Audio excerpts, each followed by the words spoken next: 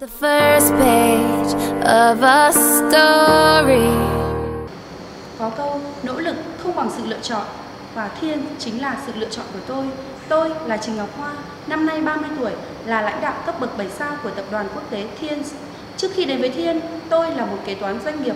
Công việc vô cùng áp lực khiến tôi luôn bị stress, mất ngủ và những cơn đau đầu hành hạ. Mẹ tôi bị xương khớp, huyết áp cao, luôn luôn phải dùng thuốc tây.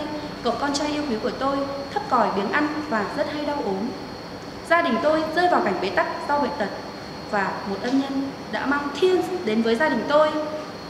Trong vòng một năm qua, tôi cùng gia đình mình luôn tin tưởng, nghiêm túc sử dụng sản phẩm thiên. Những vấn đề về sức khỏe đã được cải thiện một cách kỳ diệu. Bản thân tôi không còn đau đầu, mất ngủ, tinh thần luôn thoải mái và tràn đầy năng lượng. Mẹ tôi huyết áp ổn định, không còn phải dùng thuốc tây. Căn bệnh xương khớp cũng được cải thiện một cách rõ rệt. Cậu con trai của tôi chiều cao phát triển hơn các bạn cùng trang lứa.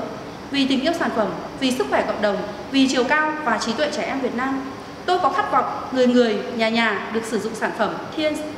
Để làm được điều này, bản thân tôi luôn nghiêm túc học tập, rèn luyện, hoàn thiện bản thân mình, trở thành người phụ nữ hiện đại, có giá trị cho gia đình, cho dòng tộc, cho xã hội và cho Tổ quốc. Và niềm tin chính là sự khởi đầu của thành công, kiên trì giúp thành công đi tới đích.